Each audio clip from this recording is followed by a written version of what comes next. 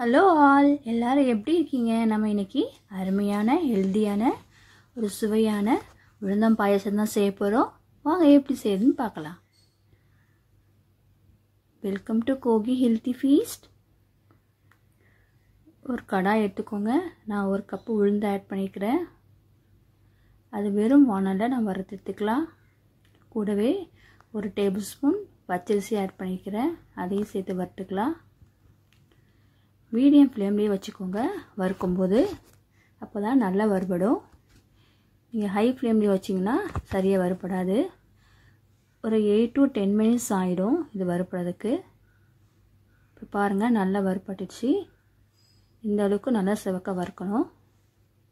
இது நம்ம வந்து ஆற வச்சிடலாம். நான் இன்னைக்கு வெள்ளை யூஸ் பண்ணி தான் உளுந்தம் பாயசம் செய்ய போகிறேன் ஒரு கப்பு உளுந்துக்கு ஒரு கப்பு உளுந்து வெள்ளை ஆட் பண்ணிக்கிறேன்.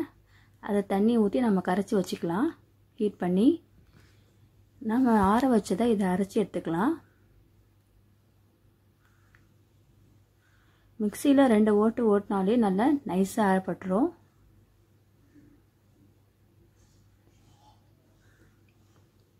பாருங்கள் இந்த அளவுக்கு நம்ம நைஸாக அரைச்சி எடுத்துக்கலாம். இதை நம்ம ஒரு பவுலில் போட்டு இரநூறு எம்எல் தண்ணி ஆட் பண்ணி நம்ம இதை கரைச்சி எடுத்துக்கலாம்.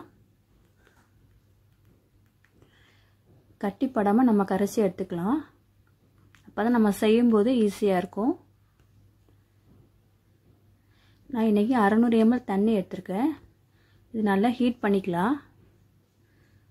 லைட்டாக ஹீட் ஆனவுடனே நம்ம இந்த கரைச்சி வச்சுருக்கத நம்ம இது கூட ஆட் பண்ணிக்கலாம்.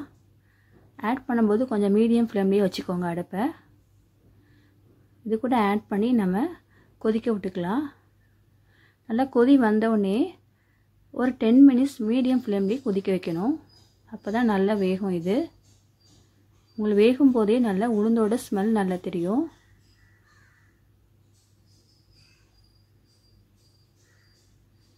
இந்த மாதிரி மீடியம் ஃப்ளேம்லேயே ஒரு பத்து நிமிஷம் கொதிக்க வச்சுக்கோங்க.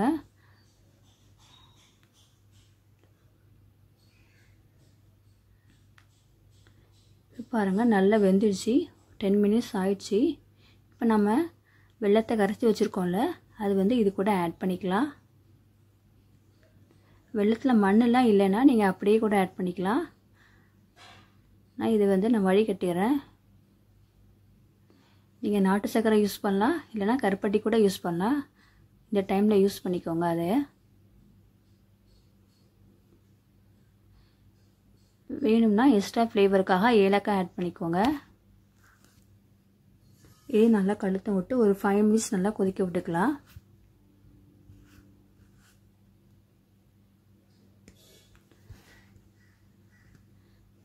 நல்லா ரெடி ஆயிடுச்சு. இது வந்து ஆப்ஷனல் தான்.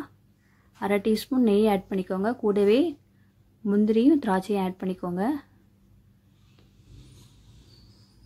நல்லா வறுத்து எடுத்துகிட்டு அது கூட பாயசத்தில் நம்ம வந்து தளிச்சிக்கலாம் இது ஆப்ஷனல் தான் ஒன்றும் தேவைப்படாது. இந்த சமயத்தில் நீங்கள் தேங்காய் பூ கூட ஆட் பண்ணிக்கலாம். அதையும் இதே மாதிரி நெய்யில் வறுத்து ஆட் பண்ணிக்கோங்க.